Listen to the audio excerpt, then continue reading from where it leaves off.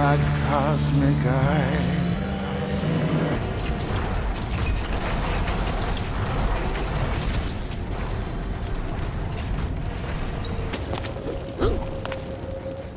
This is a private mailbox. You aren't allowed in here. You've been missorted.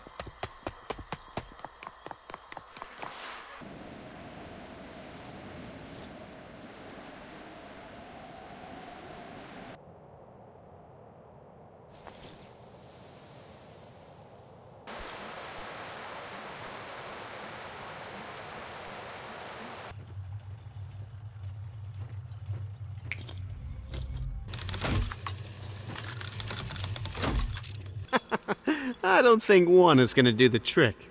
We'll see.